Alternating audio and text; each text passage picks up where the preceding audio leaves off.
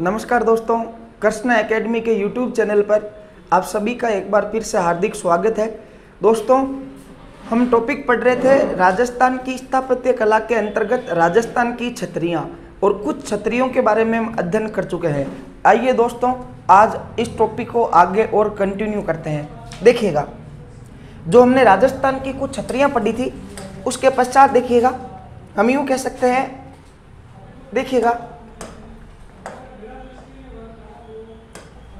दोस्तों, राजस्थान में एक छतरी है। और देखिएगा, इस छतरी का नाम है महाराणा प्रताप की छतरी।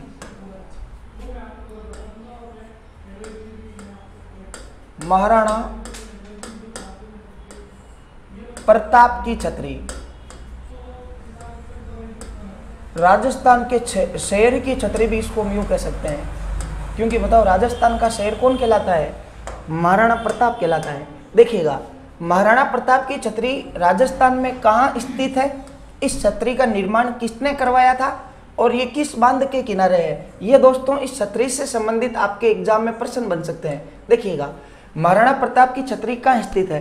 दोस्तों, जब हम मेवाड़ का इतिहास पढ़ते हैं तो उसके अंतर्गत हम ये पढ़ते हैं कि महाराणा प्रताप का जन्म ज़रूर 9 मई 1540 के दिन कुंभलगढ़ राजसमंद में हुआ था। इनका राज्यभिषेक गोगुंदा उदयपुर में हुआ था, जो इनकी पहली राजधानी थी। फिर महाराणा प्रताप ने अपनी राजधानी कुंभलगढ़ को बना लिया था और महाराणा प्रताप के अंतिम समय में इनकी राजधानी चावंड थी। दोस्तों, चावंड को महाराणा प्रताप ने राजधानी पंद्रह ईस्वी में बनाया था और चावंड में रहते हुए पंद्रह ईस्वी में जब ये तीर कमान पर रस्सी चढ़ा रहे थे, उसी समय महाराणा प्रताप के पैर में एक घाव लग जाता है। और दोस्तों, वो घाव एक बहुत बड़ा नासूर बन जाता है। और इसी के चलते पंद्रह सौ ईस्वी में महाराणा प्रताप जैसे वीर पुरुष की मृत्यु हो जाती है। राजस्थान का एकमात्र ऐसा शासक जिसकी मृत्यु होने के पश्चात उसके दुश्मन भी रोए थे, वो था महाराणा प्रताप। दोस्तों, ऐसा कहा जाता है कि जब पृथ्वीराज राठौड़ ने महाराणा प्रताप की मृत्यु की सूचना अकबर को दी थी तो अकबर भी अपने आँखों से आँसू टपकाने लगा था। ऐसे वीर प्रताप थे, महाराणा प्रताप, देखिएगा।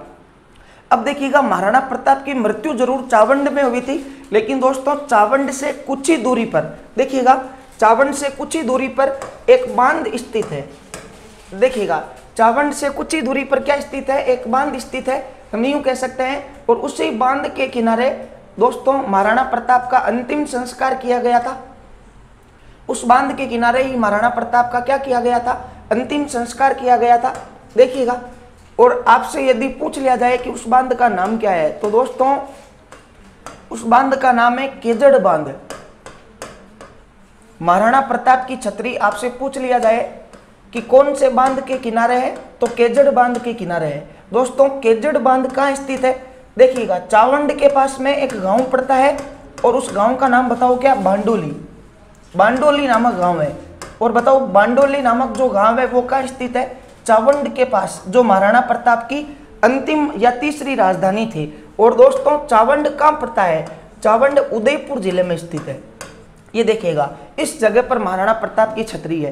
दोस्तों, जब महाराणा प्रताप की मृत्यु हुई थी तो ये छतरी इस बाँध के किनारे थी। लेकिन ये छतरी इस बाँध के बहाव क्षेत्र में थी, इसके भराव क्षेत्र में थी।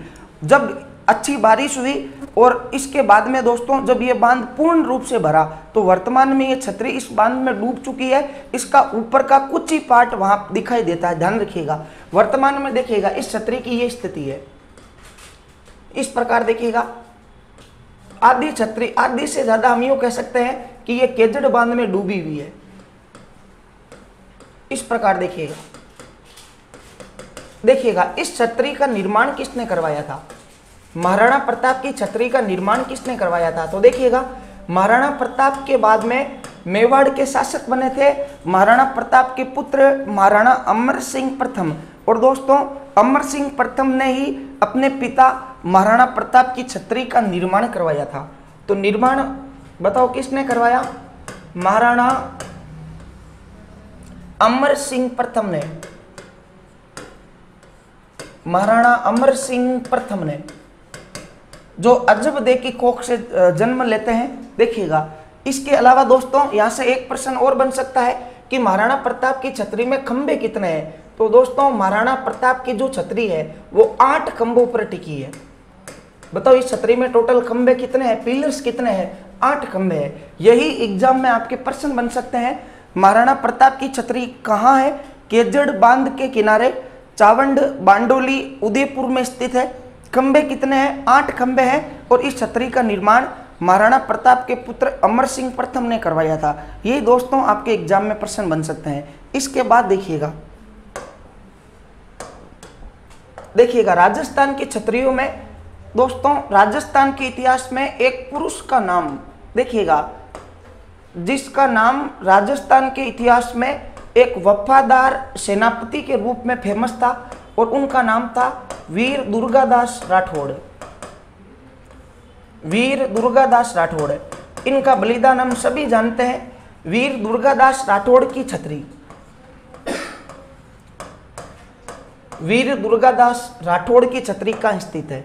ध्यान रखिएगा, वीर दुर्गादास राठौड़ राजस्थान के वीर पुरुष रहे थे और ये मारवाड़ के शासक जसवंत सिंह प्रथम के मुख्य सेनापति के रूप में थे। जब जसवंत सिंह प्रथम की मृत्यु होती है जमरूद में तो दोस्तों, उसके पश्चात जसवंत सिंह की दोनों गर्भवती रानियों को ये जमरूद, काबुल, अफ़गानिस्तान से मारवाड़ लेकर आ रहे थे। लेकिन उसी समय बीच रास्ते में लाहौर में उन दो रानियों ने दो पुत्रों को जन्म दिया था। एक का नाम था अजीत सिंह और एक का नाम था दलभंजन। उसके बाद में औरंगज़ेब अपनी कूटनीति में दुर्गादास को फंसाकर दिल्ली की रूप सिंह राठौड़ की हवेली में कैद करवाता है, लेकिन दुर्गादास राठौड़ अपनी समझदारी और अपनी वीरता का परिचय देते हुए और जसवंत सिंह प्रथम के दोनों संतानों और दोनों रानियों को छुड़ा लेते हैं। लेकिन दोस्तों दलभंजन नामक पुत्र का खींचातानी में मृत्यु हो जाती है और अजीत सिंह बचते हैं।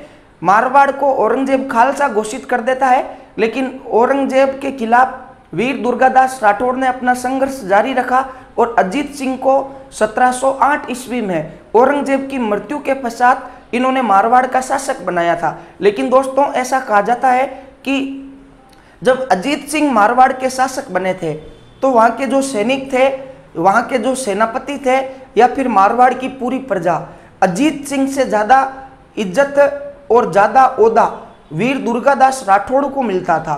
इस कारण दोस्तों, अजीत सिंह जो थे, वो अजीत सिंह इस बात से परेशान थे। और ऐसा भी कहा जाता है कि एक बार अजीत सिंह और दुर्गादास राठौड़ एक युद्ध करने, युद्ध के मैदान में गए थे। तो इन्होंने जो रात्रि के खेमे लगाए थे दुर्गादास राठौड़ ने अपना रात्रि का खेमा अजीत सिंह के पास लगा लिया। और अजीत सिंह ने दुर्गादास को कहा कि आप अपना खेमा सैनिकों के साथ लगाइएगा, आप सेनापति हो। इस कारण दोस्तों दुर्गादास राठौड़ नाराज़ होते हैं और अजीत सिंह दुर्गादास राठौड़ को देश निकाला दे देता है। इस कारण दुर्गादास राठौड़ मारवाड़ की उस वीर भूमि को अपनी नम आँखों से चूमकर मारवाड़ से निकल जाते हैं और उस समय मेवाड़ के शासक हुआ करते थे। अमर सिंह सेकंड, ध्यान रखिएगा। अमर सिंह प्रथम तो महाराणा प्रताप के पुत्र थे और अमर सिंह सेकंड ने दुर्गादास राठौड़ को रामपुरा नामक जगह की जागीरी दी थी। उसी जगह पर दुर्गादास राठौड़ अपना जीवन व्यवतीत करने लगे थे। लेकिन अब दोस्तों, अपने अंतिम समय में दुर्गादास राठौड़ उज्जैन चले गए थे और वहीं पर रहते हुए इनकी मृत्यु हो गई। तो आप ध्यान रखिएगा, यदि आपसे यूँ पूछा जाए, दुर्गादास राठौड़ की छतरी राजस्थान में कहाँ स्थित है? तो दोस्तों, दुर्गादास राठौड़ की छतरी शिप्रा नदी के किनारे स्थित है। शिप्रा नदी के किनारे और बताओ, शिप्रा नदी कहाँ स्थित है? उज्जैन में। और बताओ, उज्जैन कहाँ स्थित है? एमपी में। ध्यान रखिएगा दोस्तों, इस जगह पर हम यूँ कह सकते हैं कि स्वतंत्रता के इस परिचायक वीर दुर्गादास राठौड़ की छतरी है। तो दोस्तों, ये दो छतरियाँ राजस्थान के इतिहास में अपना महत्वपूर्ण योगदान रखती है। एक महाराणा प्रताप की छतरी और दूसरी वीर दुर्गादास राठौड़ की छतरी। इसको आपको अच्छे से याद इसलिए करना है क्योंकि दुर्गादास राठौड़ का योगदान राजस्थान के इतिहास और मारवाड़ के इतिहास में रहा था, लेकिन इनकी छतरी राजस्थान में नहीं है। बताओ कहाँ पर है? उज्जैन एमपी में। आप इसका स्क्रीनशॉट लीजिएगा।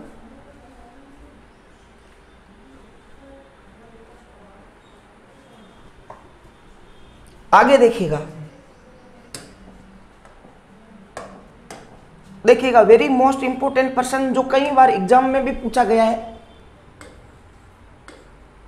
दोस्तों, जिस प्रकार हमने राजस्थान के प्रत्येक रियासत के राजाओं का शाही शमशान के बारे में पढ़ा था, उसी प्रकार देखिएगा, राजस्थान में एक रियासत के राजाओं का शाही शमशान है और उसको महासतिया के नाम से जानते हैं, या इनको महासतिया की छत्रियाँ कहा जाता है।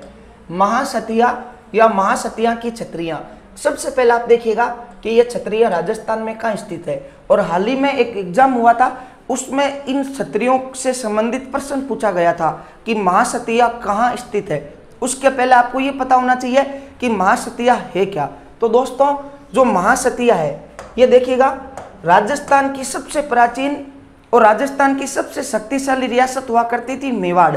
दोस्तों, मेवाड़ के राजाओं का जो शाही शमशान है, उसी को महासतिया कहते हैं। या यदि मेवाड़ के राज परिवार में किसी सदस्य का देहांत होता है तो उसका अंतिम संस्कार इन्हीं महासतिया में किया जाता है। तो हम यूँ कह सकते हैं, मेवाड़ के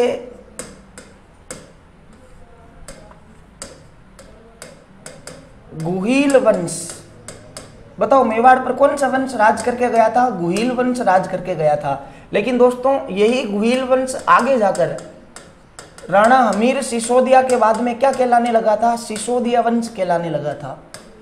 मेवाड़ के गुहिल वंश या सिसोदिया वंश का शाही शमशान महासतिया कहलाता है।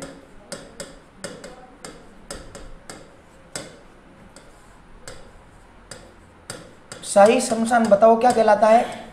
महासतिया कहलाता है। अब देखिएगा, ये महासतिया कहाँ पर स्थित है? और इसमें सबसे पहली छतरी किसकी है? दोस्तों, यदि मेवाड़ के इतिहास को शुरू से देखा जाए तो मेवाड़ के प्रतापी राजाओं में प्रथम प्रतापी शासक हुए थे कालभोज या बप्पा रावल, जिनकी छतरी नागदा में स्थित है। उसके पश्चात अगर हम यूँ कहें तो दोस्तों, जैसा कि हमने पढ़ा था, महाराणा कुंभा, महाराणा सांगा की छतरी, महाराणा प्रताप तक की जो छतरियाँ हैं, वो दोस्तों राजस्थान के अलग अलग जगहों पर स्थित है। लेकिन दोस्तों महाराणा प्रताप के पुत्र थे अमर सिंह प्रथम। और अमर सिंह प्रथम के बाद में राजस्थान मेवाड़ रियासत के जितने भी शासक बने थे, उन सब की छतरियाँ बताओ कहाँ है? इस महासतिया में स्थित है। तो हम यूँ कह सकते हैं कि जो महासतिया है, देखिएगा, ये किस प्रकार का है? महासतिया, जिसको मेवाड़ के गुहील वंश के राजाओं का शाही शमशान कहा जाता है। देखिएगा। हम यूँ कह सकते हैं, दोस्तों, इस प्रकार का आपको गुहील वंश के राजाओं का एक शाही शमशान दिखाई देगा। और उसी को बताओ, क्या कहते हैं, महासतिया। अब देखिएगा, ये महासतिया है कहाँ पे? एग्जैक्ट इसकी लोकेशन कहाँ है? तो दोस्तों एग्जैक्ट ये स्थित है गंगोदभव उदयपुर ज़िले में एक जगह पड़ती है और उस जगह का नाम बताओ क्या है? गंगोदभव यदि आपसे यूँ कहा जाए गंगोदभव कहाँ स्थित है? तो दोस्तों, राजस्थान में एक सभ्यता हुई थी आहड़। आहड़ के पास गंगोदभव आहड़ के पास, और बताओ आहड़ कहाँ स्थित है? उदयपुर में स्थित है। अब देखिएगा, एग्ज़ाम में प्रश्न आया था, महासतिया कहाँ स्थित है? और उसमें गंगोदभव ऑप्शन में नहीं था, ऑप्शन में था आहड़। तो दोस्तों, इसका सही उत्तर क्या होगा? आहड़ होगा। यदि आपको यू प्रश्न पूछा जाए, महासतिया कहाँ स्थित है? और जिलों का नाम मिले, जोधपुर जयपुर, उदयपुर और चित्तौड़। तो आपको क्या करना है? उदयपुर करना है। वो दोस्तों प्रश्न के अकॉर्डिंग अपने को उत्तर देना है। लेकिन देखिएगा, उससे भी महत्वपूर्ण चीज़ क्या है? महासतिया में पहली छतरी किसकी है? तो दोस्तों, महासतिया में पहली छतरी है महाराणा प्रताप के पुत्र महाराणा अमर सिंह प्रथम की छतरी। महासतिया में पहली छतरी बताओ किसकी है? महाराणा अमर सिंह प्रथम की छतरी है। महाराणा अमर सिंह प्रथम की छतरी है। इसके पश्चात दोस्तों, मेवाड़ रियासत के जिस भी राजा का देहांत हुआ था, उसका अंतिम संस्कार यहीं पर होता था। जैसे कि देखिएगा, अमर सिंह प्रथम के पश्चात मेवाड़ के शासक बने थे कर्ण सिंह। ये देखिएगा, कर्ण सिंह की यहाँ छतरी है। कर्ण सिंह के बाद मेवाड़ के शासक बने थे, जगत सिंह प्रथम, उनकी यहाँ छतरी है। जगत सिंह प्रथम के बाद राजा बने थे, राज सिंह, उनकी यहाँ छतरी है। राज सिंह के बाद में राजा बने थे दोस्तों अमर सिंह, जगत सिंह सेकेंड जय सिंह, इस प्रकार देखिएगा। और इस प्रकार ये मेवाड़ के राजाओं का क्या है? शाही शमशान है, जिसको क्या कहते हैं? महासतिया के नाम से जानते हैं। बोरा भगत की छतरी। राजस्थान की प्रमुख छतरियों में एक छतरी है और उस छतरी का नाम बताओ क्या है? बोरा भगत की छतरी। बोरा भगत की छतरी, देखिएगा। बोरा भगत की छतरी, सबसे पहले आपको यह पता होना चाहिए कि राजस्थान में स्थित कहाँ पर है। दोस्तों, बोरा भगत की जो छतरी है, देखिएगा, राजस्थान में यदु वंश की जो कुल देवी है, केला देवी, उस केला देवी के मंदिर के सामने करौली में स्थित है। तो दोस्तों, बोरा भगत की छतरी कहाँ स्थित है? केला देवी,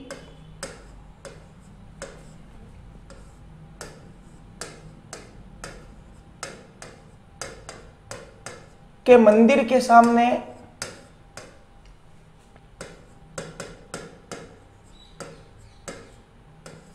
करौली में स्थित है। लेकिन देखिएगा, इस छतरी का एक और भी दोस्तों महत्वपूर्ण योगदान है। और वो महत्वपूर्ण योगदान क्या है? देखिएगा, हम यूँ कह सकते हैं कि अपने राजस्थान में यदु वंश की जो कुलदेवी है, और बताओ यदु वंश की जो कुलदेवी है, उनका नाम बताओ क्या है? केला देवी। दोस्तों, केला देवी का मंदिर हम सभी जानते हैं, करौली में स्थित है। देखिएगा इससे पहले आपको यह भी पता होना चाहिए कि करौली में भी कहाँ पर है या कौन से पर्वत पर स्थित है। तो दोस्तों, करौली में एक पर्वत है और उस पर्वत का नाम है त्रिकुट पर्वत। ध्यान रखिएगा, राजस्थान में त्रिकुट पर्वत दो है। एक करौली में और एक जैसलमेर में। जैसलमेर का सोनारगढ़ का जो दुर्ग है, वो भी त्रिकुट पर्वत पर स्थित है। देखिएगा, त्रिकुट पर्वत करौली में हम यूँ कह सकते हैं, कौन सी देवी का मंदिर है? केला देवी। केला देवी का मंदिर है। दोस्तों, ये जो केला देवी का मंदिर है, देखिएगा, इस मंदिर में आपको दो मूर्तियाँ मिलेगी। देखिएगा, दो मूर्तियाँ कौन कौन सी है? दोनों ही दोस्तों माता जी की मूर्तियाँ हैं। इसमें देखिएगा, जो बाई तरफ़, जिन माता जी की मूर्ति है, देखिएगा, लेफ़्ट साइड में जो मूर्ति है दोस्तों, वो है चामुंडा माता की मूर्ति। बताओ लेफ़्ट साइड में कौन सी माता है? चामुंडा माता। और इसके राइट साइड राइट साइड में जो मूर्ति है, यह है दोस्तों महालक्ष्मी माता की। और ये जो महालक्ष्मी है, इन्हीं को बताओ, क्या कहते हैं? इन्हीं को केला देवी कहते हैं। या इनको अंजना माता का अवतार भी मानते हैं, जो हनुमान जी की माता थी। इसके अलावा दोस्तों, जो केला देवी के मंदिर का प्रांगण है, देखिएगा, केला देवी के मंदिर के प्रांगण में एक छोटा सा मंदिर यहाँ पर स्थित है दोस्तों हनुमान जी का मंदिर। इसी मंदिर के प्रांगण में बताओ किसका मंदिर है? हनुमान जी का या बालाजी का मंदिर है? हनुमान जी का मंदिर। अब देखिएगा, हम राजस्थान के लोक नृत्यों में, एक राजस्थान के लोक संगीत में एक संगीत पढ़ते हैं, लांगूरिया नृत्य और लांगूरिया गीत। तो दोस्तों हम यही पढ़ते हैं कि लांगूरिया गीत केला देवी के मंदिर में गाया जाता है। और इसको इस प्रकार हम याद भी कर, कर सकते हैं कि लंगूर केले खाते हैं। तो लंगूर से लांगूरिया नृत्य और केला से बताओ क्या होगा केला देवी। लेकिन दोस्तों ध्यान रखिएगा एग्जैक्ट ये जो लांगूरिया गीत और लांगूरिया नृत्य है ये हनुमान जी के मंदिर में किया जाता है। जो कुंवारी कन्याएँ होती है कुंवारी कन्याएँ हनुमान जी को छेड़ते हुए ये लांगूरिया गीत और लांगूरिया नृत्य करती है, देखिएगा। अब दोस्तों, इस मंदिर के जस्ट सामने, हम यूँ कह सकते हैं, इस मंदिर के जस्ट सामने दोस्तों, जो एक छतरी स्थित है, उस छतरी को ही बताओ, क्या कहते हैं? बोरा भगत की छतरी। देखिएगा, इस मंदिर के जस्ट सामने आपको एक छतरी दिखाई देगी, और उस छतरी का नाम बताओ, क्या है? बोरा भगत की छतरी। अब देखिएगा, इस बोरा भगत की छतरी का क्या महत्व है? दोस्तों, ऐसा कहा जाता है, देखिएगा, कि इस मंदिर के पीछे से होकर, जो केला देवी का मंदिर है, हम यूँ कह सकते हैं, इस मंदिर के पीछे से होकर एक नदी गुजरती है। देखिएगा, और उस नदी का नाम है कालीशील नदी। बताओ, इस मंदिर के पीछे से होकर कौन सी नदी प्रवाहित होती है? कालीशील नदी। ऐसा कहा जाता है दोस्तों, कि जो श्रद्धालु केला देवी के मंदिर में धोख लगाने जाते हैं वो श्रद्धालु इस मंदिर में धोख लगाने के पश्चात इस नदी में डुबकी लगाते हैं। जब तक इस नदी में डुबकी नहीं लगाते हैं, उनकी केला देवी की जो मंदिर की यात्रा है, वो पूर्ण नहीं मानी जाती है। लेकिन ऐसा भी कहा जाता है कि कई बार बारिश कम होती है।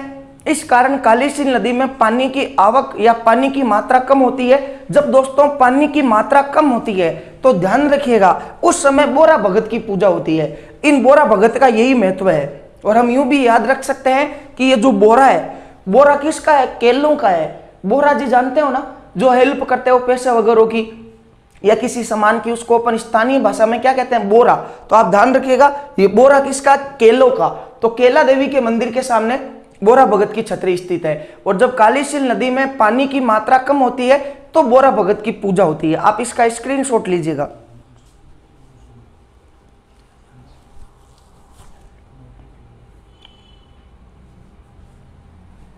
इसके बाद देखिएगा, दोस्तों, जो राजस्थान की प्रमुख छतरियाँ हैं, उसमें देखिएगा कौन कौन सी छतरियाँ और महत्वपूर्ण है? देखिएगा, राजस्थान में दोस्तों एक दुर्ग है।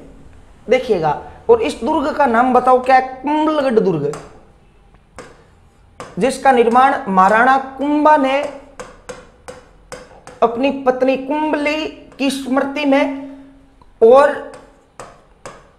अपनी सुरक्षा है तो इस दुर्ग का निर्माण करवाया था। कुंभलगढ़ दुर्ग का, और बताओ कुंभलगढ़ दुर्ग कहाँ स्थित है? कुंभलगढ़ दुर्ग राजसमंद में स्थित है। दोस्तों, ये जो कुंभलगढ़ दुर्ग है, इस कुंभलगढ़ दुर्ग में आपको दो छतरियाँ देखने को मिलेगी। देखिएगा, कुंभलगढ़ दुर्ग में बताओ कितनी छतरियाँ मिलेगी? दो। देखिएगा, वो दो कौन कौन सी है? ये दोनों छतरियाँ दोस्तों दादा पोतों की है। देखिएगा, एक जो छतरी है, इसको पृथ्वीराज सिसोदिया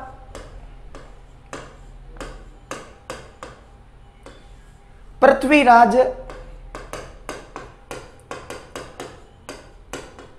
सिसोदिया। और दोस्तों, पृथ्वीराज सिसोदिया को मेवाड़ के इतिहास में उड़ना राजकुमार कहा जाता है। पृथ्वीराज सिसोदिया या उड़ना राजकुमार की छतरी। देखिएगा, पृथ्वीराज सिसोदिया या उड़ना राजकुमार की छतरी आपसे अगर यूँ पूछा जाए कि कहाँ स्थित है तो कुंभलगढ़ दुर्ग में स्थित है। इसके अलावा दोस्तों, यहीं पर एक छतरी और है, जिसे महाराणा कुंभा की छतरी कहा जाता है। महाराणा कुंभा की छतरी। तो दोस्तों, ध्यान रखिएगा, कुंभलगढ़ दुर्ग में बताओ कितनी छतरियाँ हैं? दो छतरियाँ, एक पृथ्वीराज सिसोदिया की छतरी और एक महाराणा कुंभा की छतरी, और इन दोनों का आपस में संबंध क्या था? दादा पोता। अब देखिएगा, इनकी छतरी किस प्रकार यहाँ बनी थी, इसके रूप में हम अध्ययन करते हैं। दोस्तों महाराणा कुंभा के बारे में कहा जाता है कि महाराणा कुंभा राजस्थान में स्थापत्य कला, इसके अलावा, राजस्थान में वास्तुकला के जनक माने जाते हैं। महाराणा कुंभा ने कई सैनिक अभियान किए थे, कई ग्रंथ लिखे थे और कई दरबारी विद्वानों को अपने दरबार में शरण दे रखी थी। इन्होंने राजस्थान में सर्वाधिक दुर्ग भी इन्होंने बनवाए थे, लेकिन दोस्तों, अंतिम समय में ऐसा कहा जाता है कि महाराणा कुंभा को एक मानसिक रोग हो गया था। उन्माद नामक इनको एक बीमारी हो गई थी। इस कारण महाराणा कुंभा को कुंभलगढ़ दुर्ग में रखा गया था। और ऐसा कहा जाता है कि इसी कुंभलगढ़ दुर्ग में, ध्यान रखिएगा, महाराणा कुंभा के दो पुत्र थे। देखिएगा, महाराणा कुंभा के दो पुत्र थे, बड़े पुत्र का नाम था उदा। और छोटे पुत्र का नाम बताओ, क्या था? रायमल था। अब दोस्तों, ये जो कुंभा है, वो इस उदा को ऐसा कहा जाता है, परेशान करता था, क्योंकि कुंभा क्या हो गए थे? लास्ट में पागल हो गए थे। इनको एक मानसिक बीमारी हो गई थी, उन्माद नामक बीमारी। और हम यूँ कह सकते हैं कि अपने इस कुंभलगढ़ दुर्ग में देखिएगा, जो महाराणा कुंभा की छतरी है, यहाँ पर दोस्तों एक तालाब है, और इस तालाब का नाम है मामा देव तालाब।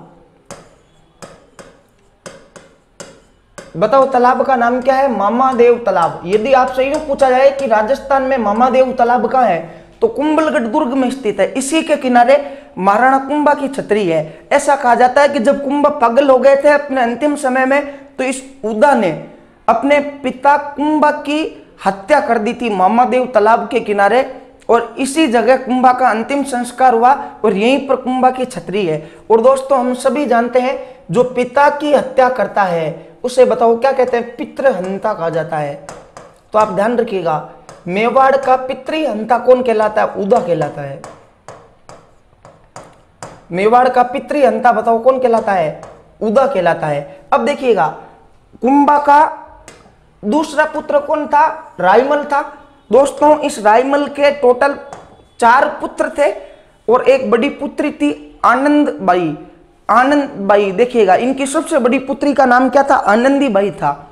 उस आनंदी बाई का विवाह सिरोई के शासक जगमाल देवड़ा के साथ करवाया गया था और इसी रायमल का जो आनंदी बाई से छोटा पुत्र था, उसका नाम था पृथ्वीराज सिसोदिया।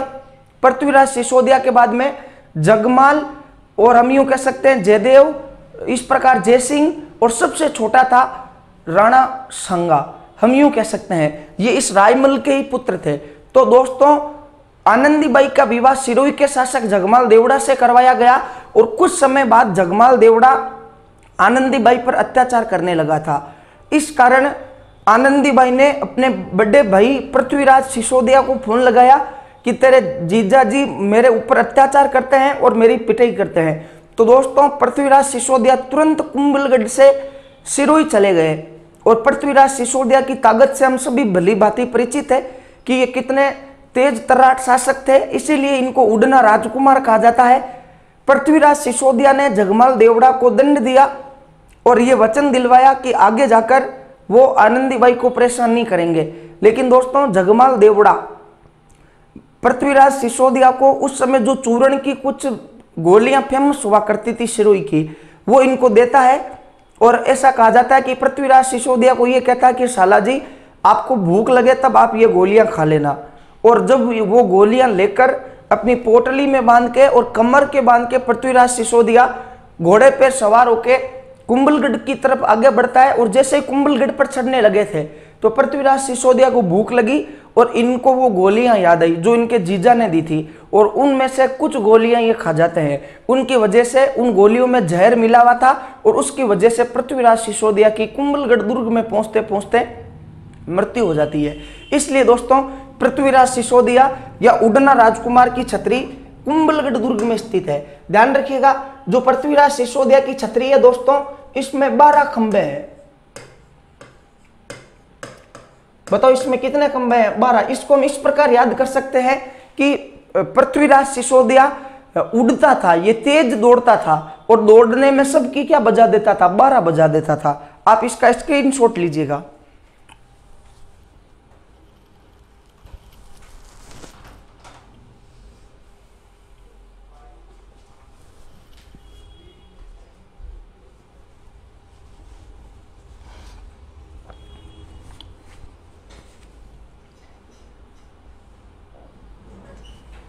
आगे देखिएगा दोस्तों, हम यूँ कह सकते हैं कि राजस्थान की जो प्रमुख छतरियाँ हैं, देखिएगा।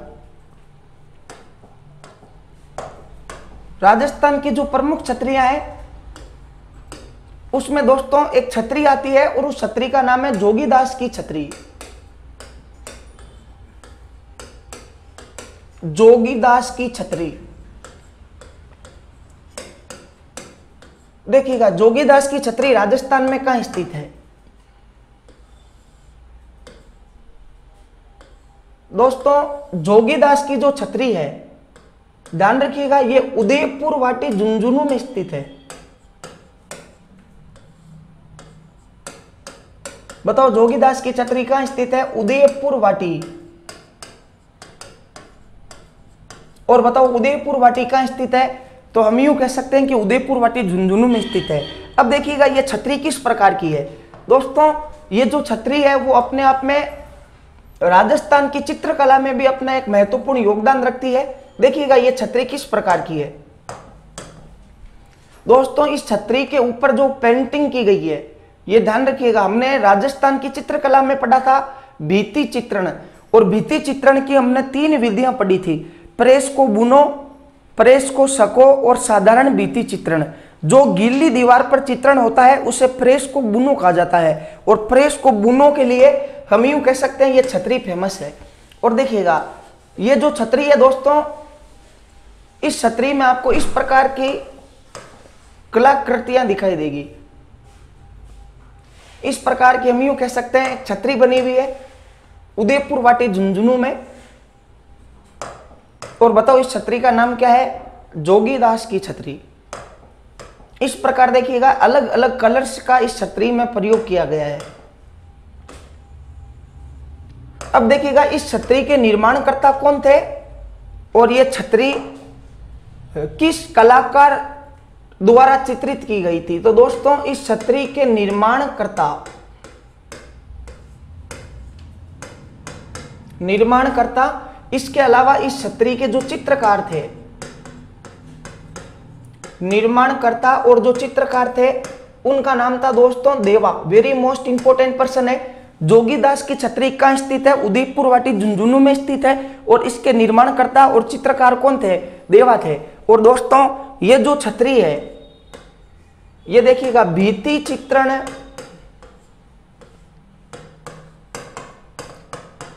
में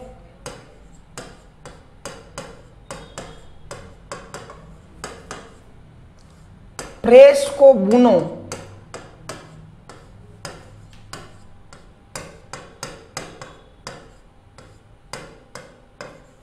के लिए प्रसिद्ध है? भीति चित्रण में बताओ ये किसके लिए प्रसिद्ध है? तो दोस्तों भीति चित्रण में यह कला प्रेस को बुनो पद्धति के लिए प्रसिद्ध है। ध्यान रखिएगा। इसके अलावा देखिएगा, राजस्थान की जो प्रमुख छतरी है, उसमें दोस्तों एक आती है गोपाल सिंह की छतरी।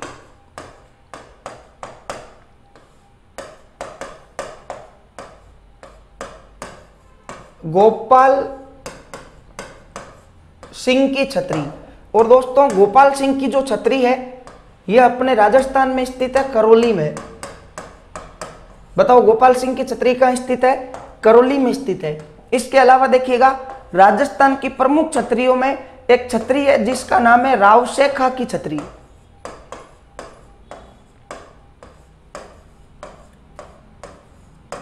राव शेखा की छतरी। देखिएगा, राव शेखा की छतरी स्थित है परशुरामपुरा। और बताओ, परशुरामपुरा भी कहाँ स्थित है? झुंझुनू में स्थित है। देखिएगा, कौन थे ये राव शेखा? तो दोस्तों, ऐसा कहा जाता है कि आमिर रियासत पर कच्छावा वंश का राज था। इनको कच्छावा वंश के शासक इसलिए कहा जाता है क्योंकि ये भगवान राम के छोटे पुत्र कुश के वंशज थे। ऐसा कहा जाता है कि आमेर के कच्छावा वंशों के राजाओं में एक शासक बना था, जिसका नाम था रामदेव या राजदेव। दोस्तों, उस रामदेव या राजदेव के दो पुत्र थे। एक का नाम था नरा और एक का नाम था शेखा। नरा के वंशज आगे जाकर नरुका कहलाए और रामदेव ने या राजदेव ने अपने पुत्र नरा को अलवर वाला पाठ दिया और उनका जो पुत्र था, छोटा शेखा। शेखा को सिक्कर चूरू और झुंझुनू का पाठ दिया। शेखा जी का राज था सिक्कर चूरू और झुंझुनू में। इस कारण दोस्तों, वहाँ वो जो प्रदेश था, वो शेखा जी के नाम पर शेखा वाटी कहलाया और इन शेखा जी के वंशज जो थे, वही आगे जाकर शेखावत कहलाए थे। इनकी छतरी परशुरामपुरा झुंझुनू में स्थित है। आप इसका स्क्रीनशॉट लीजिएगा। दोस्तों, ये राजस्थान की छतरियों से संबंधित एक महत्वपूर्ण वीडियो था। यदि आपको पसंद आए तो आप इसे लाइक और शेयर करना न भूलें। और इसी प्रकार आपको वीडियो मिलते रहेंगे। धन्यवाद।